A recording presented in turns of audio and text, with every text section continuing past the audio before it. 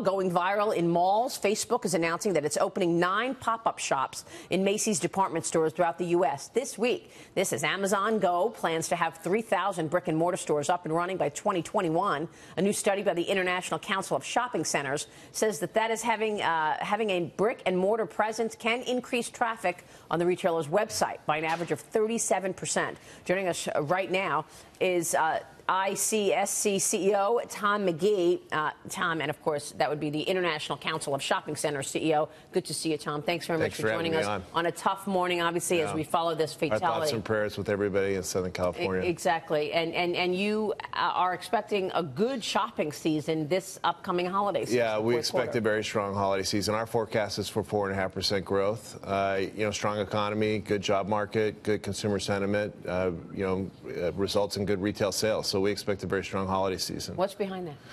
Well, obviously those characteristics. I think uh, you know you have a very good job market that leads to demand. Uh, I do think as you lead into the holiday season, and your intro pointed out, you're going to see you know this increasing convergence that's taking place between physical and digital retail. You mentioned some of the names that are opening up stores. Uh, you see a lot of digitally native retailers opening up stores, and, and you see existing retailers really making a much more seamless experience between the physical and digital world. You'll see that very accentuated over the holiday season. We do call it the halo effect. We just uh, uh, produced a report that uh, provides statistics around this synergistic relationship. If you open up a store, generally your web traffic in that region goes up by 37%. You close a store, your web traffic goes down by a similar amount. So wow. you're really seeing retailers understanding this relationship and stop thinking about there being a digital channel and a physical channel, but really there's one channel called the consumer channel. Yeah, that makes sense. What is the, I mean, it is a striking that, as you say, you see these remarkable results for, for companies that uh, Amazon is, is going down this route. Sure. A, a digital company that's opening uh, bricks and mortar stores. And yet at the same time, we continue to see, you know, a big structural shift out yeah. of traditional stores. The troubles that, you know, just this year alone, we've seen, you know, whether it's Toys R Us and Sears, you know, the list of major retailers that have been traditional retailers that are really struggling.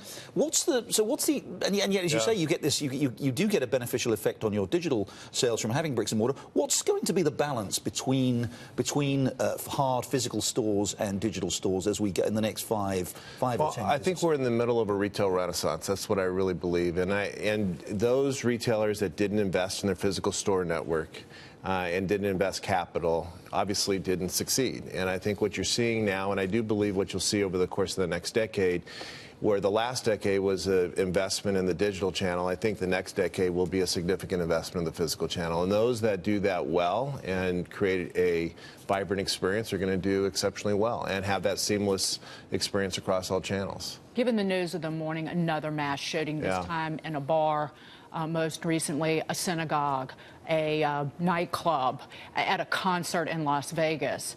What have the retailers in this country done to shore up security and make people feel at ease in recent years, even since 9/11? Yeah, I mean that the industry has taken that very seriously. I mean, obviously, this is a very a serious and sad day. Um, uh, the industry uh, shares and gets together and talks about best practices consistently. Most of the major property owners have gone through certification processes. They coordinate very closely with local law enforcement.